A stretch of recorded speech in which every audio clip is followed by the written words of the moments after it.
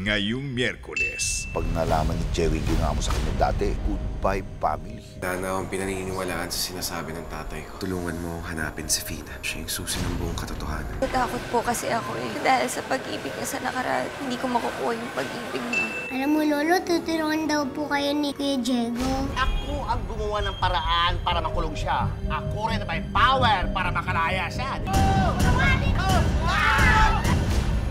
Honesto. After TV Patrol.